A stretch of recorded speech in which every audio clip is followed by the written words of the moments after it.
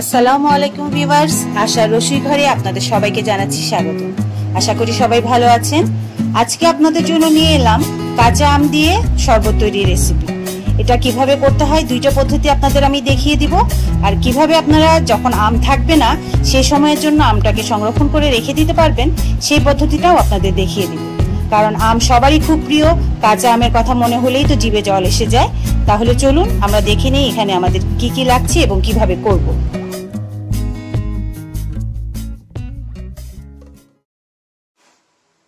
Viewers আমি এখানে দশটা কাঁচা আম ভালো করে ধুয়ে নিয়েছি। আজকে আপনাদেরকে আমি দুই ধরনের শরবতি দেখাবো আর কীভাবে এই আমের রসটা আমরা সংরক্ষণ করতে পারব।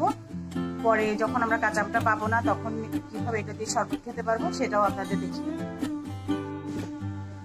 ভিউয়ার্স প্রথমে আমরা আমগুলোকে একটা পিলারের সাহায্যে আর ছুরি দিয়ে ভালো করে ছিঁড়ে ছোট করে কেটে নিই। ছিলার সময় খেয়াল করবেন একটু ডাবিয়ে ডাবিয়ে ছিলবেন, কারণ সবুজ সবুজ অংশটা থাকলে বেশি টক লাগবে।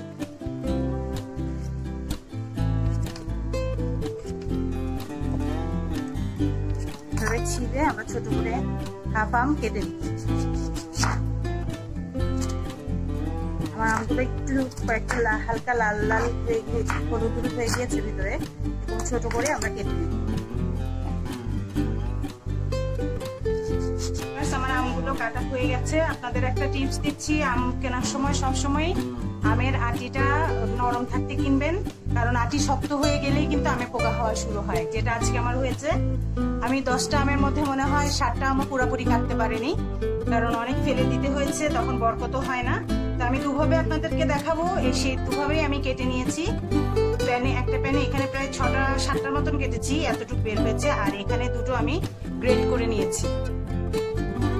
এটাতে আমি আগে সবকিছু জাল দিয়ে নিব। এখানে সামান্য লবণ দিলাম।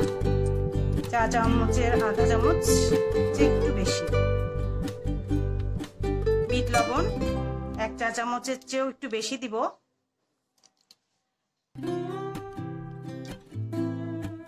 যেহেতু টক কাঁচা আম, একটু টক বেশি হবে, এখানে মেজারমেন্ট কাপের আমি দুই কাপ চিনি দিব।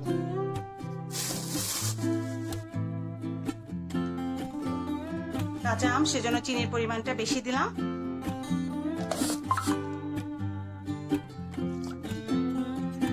দুই পরিমাণ পানি দিয়ে দিব, ভালো করে সিদ্ধ হয়ে যাওয়ার জন্য। সামান্য পুদিনা পাতা দিয়ে দিব। প্রায় দুই চা চামচের মতো। এখন এটাকে চুলায় বসিয়ে দেব, ভালো করে জাল হওয়ার জন্য। পেঁয়াজ আমগুলো হওয়ার জন্য মাঝারি আছে। বসিয়ে দিলাম, ভালো করে সিদ্ধ হয়ে যাক, তারপরে আমরা সর্বতে বাকি কাজগুলো করব।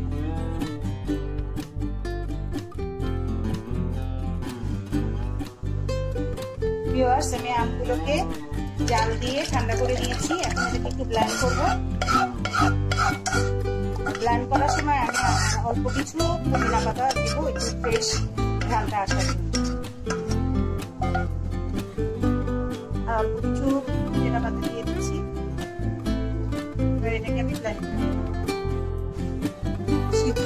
করে আমগুলো আমি ব্ল্যান্ড করে নিলাম। প্রথমে ঠান্ডা করে নিয়েছিলাম। এখন এগুলোকে আমি আইস কিউব বক্সে ঢেলে ঢেলে এগুলোকে আমি আইস হওয়ার জন্য দিব।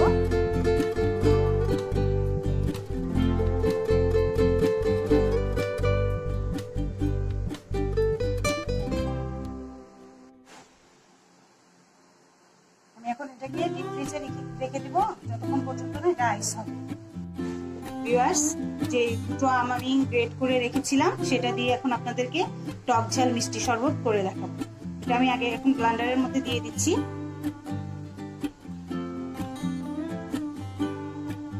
কাঁচামরিচ দিব।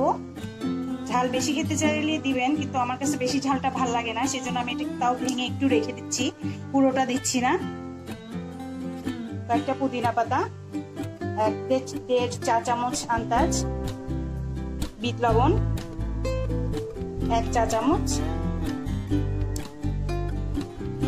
নর্মাল লবণ যেটা, সেটা দেবো হাফ চা চামচ। আর আপনার শরবতে যে জিনিসটা সবচেয়ে বেশি স্বাদ নিয়ে আসবে, সেটা হচ্ছে তেলে নেওয়া জিরার গুঁড়ো। সেটা দিলে আপনার শরবতের ফ্লেভারটাই চেঞ্জ হয়ে যাবে। সেটা আমি দিচ্ছি দুই চা চামচের যেহেতু কাঁচা আম, টক বেশি থাকে, সেজন্য মেজারমেন্ট কাপে এক কাপ চিনি আমি এখানে ইউজ করব, চার গ্লাস শরবতের জন্য। তাহলে টক ঝাল মিষ্টিটা ব্যালেন্স হয়ে যাবে। এখানে আমি চার গ্লাস আনতে পানি ভিউয়ার্স আমি চার গ্লাস পরিমাণ পানি, শরবত হবে সেরকম পানি দিয়ে দিলাম। এখন এটাকে খুব ভালো করে বেশি করে প্ল্যান করা হয়ে গেলে তারপরে আমি একটু ছেঁকে নেব। পাতা বা আমের যে আশ্বাস ভাব থাকবে, সেগুলো কিছু লাগবে জাস্ট জুসটা বের হবে।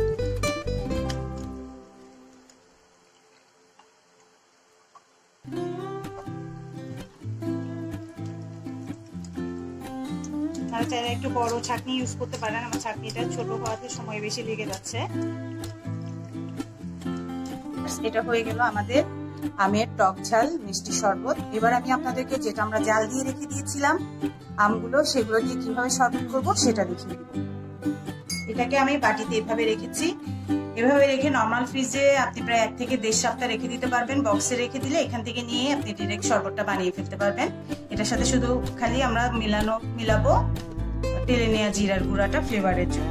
আর যেটা আইস কিউবে রেখেছি, সেটা কিউব হয়ে গেলে একটা জিপলক পলিথিনে, পলিব্যাগেও রেখে দিতে পারেন, আবার বক্সেও আইস কিউবগুলো রেখে দিতে পারেন। তাহলে আমি আপনাদের দেখাচ্ছি, এখান থেকে দেখেন এটা একদম জেলির মতন হয়ে গিয়েছে। এক টেবিল চামচ পরিমাণ, এক গ্লাসের জন্য নিলেই এনাফ এখানে আমাদের আর চিনি চিনি কিছু দিতে হবে না, কারণ চিনি দিয়েই আমরা এটাকে জাল দিয়ে রেখেছি সম্পূর্ণ রেডি খালি তেলে নেওয়া জিরার গুঁড়োটা আমরা এটার সাথে অ্যাড করব পানি সহ।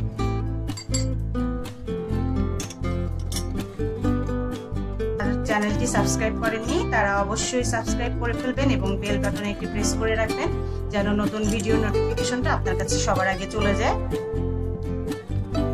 সবসময় চেষ্টায় থাকি আপনাদেরকে ভালো কিছু দেওয়ার এবং সহজে যে জিনিসটা আমরা করতে পারি, সেটাই করার চেষ্টা করি। কিন্তু খুব ভালো লাগে, আর এই যে আগেও বলেছি তেলে নেওয়া জিরার গুঁড়োটার ফ্লেভারটা কিন্তু আপনার শরবতটাকে অসাধারণ করে দেবে। এটাকে আপনি খালি মিক্স করে নেবেন, আবার চাইলে ব্লান্ডারে দিয়েও একসাথে করে নিতে পারেন যে কয়েক গ্লাস করবেন।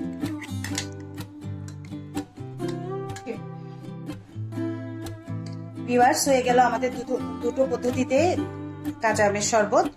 একটা হচ্ছে আমরা ইনস্ট্যান্ট করে ফেলব, আর আরেকটা হচ্ছে আমরা ফ্রোজেন করে রেখে দিয়ে সেটা দিয়ে করব। যেটা আপনাদের দেখিয়েছিলাম, এটা আইস কিউব করেও রেখে দিতে পারবেন, এভাবেও রাখতে পারবেন।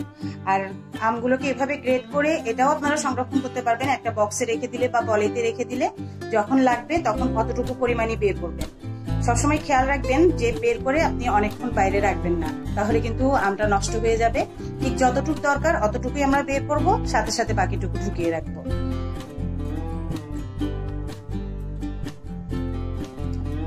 ভিভার্স হয়ে গেল আমাদের আমের কাঁচা আমের শরবত। অবশ্যই বাসায় ট্রাই করবেন, আশা করি খুব ভালো লাগবে। সবাই আমার জন্য দোয়া করবেন, যেন আরও নতুন নতুন রেসিপি নিয়ে আপনাদের মাঝে আসতে পারি। আল্লাহ হাফিজ।